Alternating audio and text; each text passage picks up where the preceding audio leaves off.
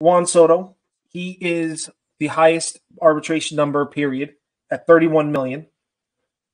Gleyber Torres at four, at 14.2. Alex Verdugo is at 8.7.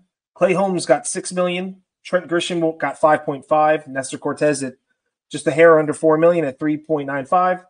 Jose Trevino at 2.73. Loaisiga got two, got two and a half. Clarke Schmidt got 2.025. And uh, Victor Gonzalez got $860,000.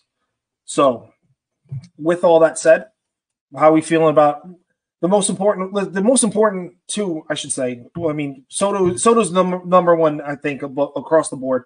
But I think Gleyber getting that number is also is is now important also. But how is everyone feeling about those numbers there? Dave, I'll swing that over to you first. How does, how you feeling about? Let's really just talk about about uh, Soto and talk about Gleyber on that one.